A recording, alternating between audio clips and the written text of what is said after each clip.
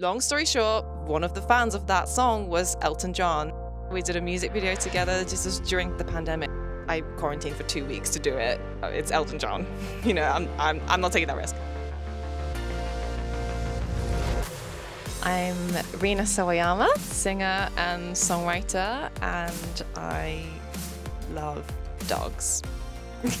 Three words I would use to describe myself dedicated, passionate, grateful. Something I do that makes my friends and family go, oh, that's such a Rina thing to do. When I get tired, there is a moment where I just switch off behind my eyes, but I just want to keep engaged. Friends and family just know that that's happened. I'll just go,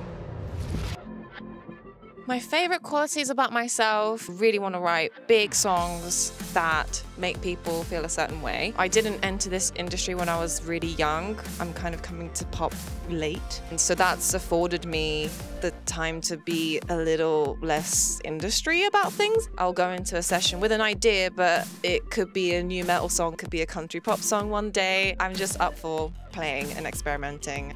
When I look at my music, Chosen Family is what I'm most proud of, representing my community, the LGBTQ community. It was a song that I wrote about my friends and the way that I was going through a really tough time with my family. You know, my family weren't really understanding my mental health, and I was at university, I was very depressed. And it was this group of queer people who I became friends with, and then they made me realize my queerness and allow me to be myself. And that was the first time I'd really relaxed into myself. I later realized that that is a concept called chosen family. I wrote a song about it on my first record. One of the fans of that song was Elton John. Long story short, did a remix of the song and we recorded it together. We did a music video together just as during the pandemic. I quarantined for two weeks to do it. Uh, it's Elton John.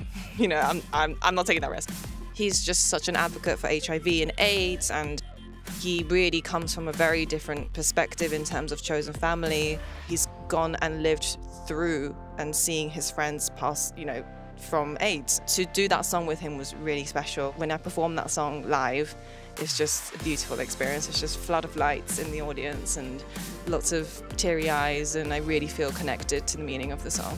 What do I want to be remembered for in my lifetime? I want to be graceful with what I do because I think with the presence of social media and how important it's been in artists' careers, it's really easy to shift the discourse on something really important into like 100 characters. I studied political science at university, like I can bring something else to the table, be part of something bigger in a more authentic, intellectual and actually like educational way. That's kind of how I want to do it rather than just typing like shady things on Twitter at POTUS, you suck. It's easy to do that and I have done that in the past and that's been kind of my journey in activism is that it definitely started on social media. I'm constantly thinking nowadays, what can I do that's gonna really make the change? And this song, This Hell, I've really got that message deep into the fabric of the song and that's something I'm proud of and that's something I want to keep doing.